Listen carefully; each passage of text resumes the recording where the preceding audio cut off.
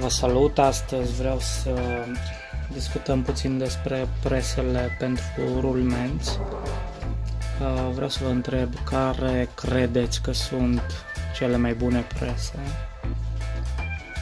Eu am aici o presă făcută uh, nu este o presă foarte bună, dar uh, scoți cu ea rulmenții și eu am folosit-o la... am tras o folie cu ea ruginită și am încărnit-o. Uh,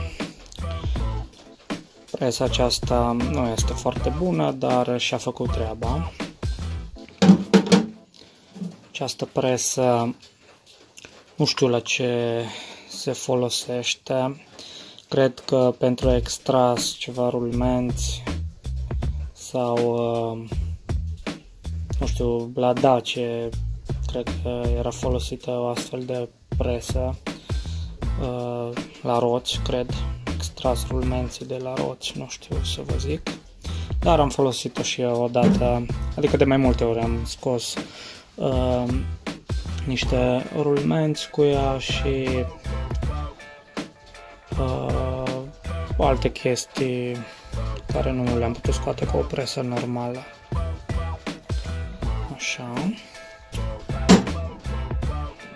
Presa aceasta hidraulică este o presă ok, nu este foarte practică, dar este funcțională, este un proiect uh, funcțional Normal, pentru rulmenți ai nevoie de o presă hidraulică mult mai mare. Uh, la rulmenți mici este ok, funcționează, dar dacă sunt rulmenții înțepeniți, nu prea este ok.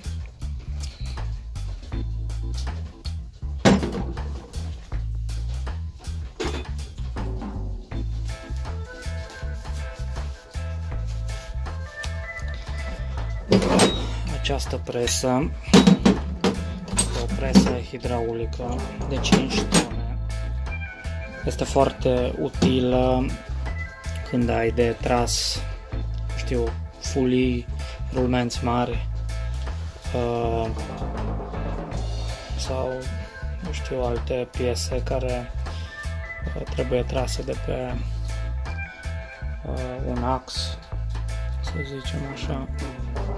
Este o presă foarte bună. Uh, mi se pare că totuși și asta de 5 tone este destul de slabă, deoarece ai nevoie de o forță destul de mare pentru a atrage un rulment uh, ruginit. Face față, deci este ok. Dacă nu e foarte practic, uh, cum să zic, în locuri înguste nu e cea mai bună, dar uh, dacă ai de tras uh, piese voluminoase, de exemplu fulii sau rulmenți foarte mari, este foarte bună. Chiar aș recomanda o presă de 10 tone. Asta e, a mea este doar de 5 tone.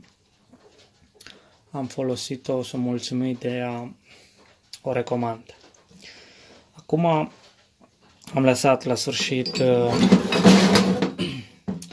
acest sistem de presă, cred că le zice presă tip ghilotină. Uh, așa am văzut odată pe internet că scria presă ghilotină, sper să nu greșesc. Am aici două mărimi.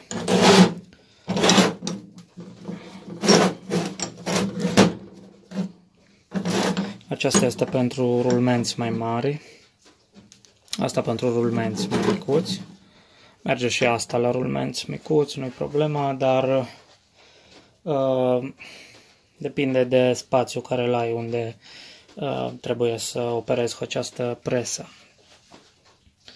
Această presă vine într-o trusă, uh, mai are și alte accesorii, uh, pentru prelungire se mai poate pune de exemplu, niște prelungitoare din acestea se înfiletează aici și automat se poate trage de pe un ax mai lung. Foarte utilă presa, am folosit-o, sunt mulțumit de ea. Asta mică n-am folosit-o, cred că niciodată, ba, probabil că am folosit-o, nu mai știu, cred că am folosit-o, dar asta e ok. Sunt prese din acestea tip ghilotină și mai mari. Eu o recomand, astfel de prese sunt foarte bune, utile. Așa. Mai sunt și alt fel de prese, dar eu nu am doar aceste tipuri de uh, prese hidraulice și mecanice sau cu șurub, cum vreți să le ziceți.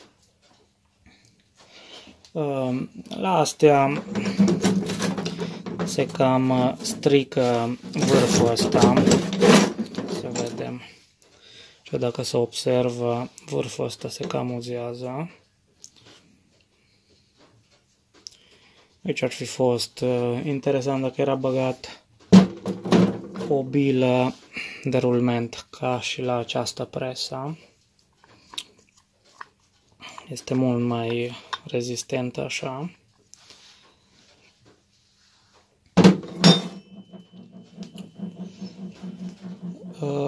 Despre presa hidraulică ce să vă zic, uh, eu zic că este o investiție bună, se merită să o aveți mai ales dacă aveți utilaje agricole și aveți nevoie de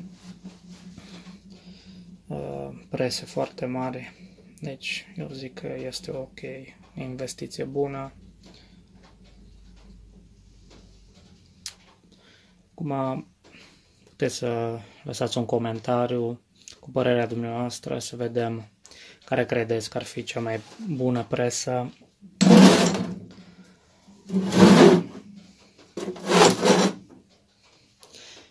eu zic că cea mai practică este aceasta, adică modelul acesta de prese uh, tip ghilotină. Astea hidraulice le recomand, sunt perfecte.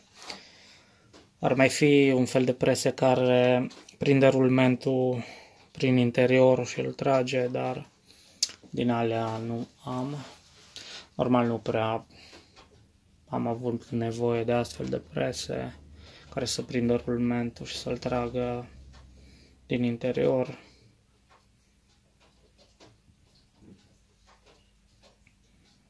Deci lăsați un comentariu să vedem care credeți dumneavoastră că ar fi cea mai bună presă, care ați folosit tipurile astea de prese.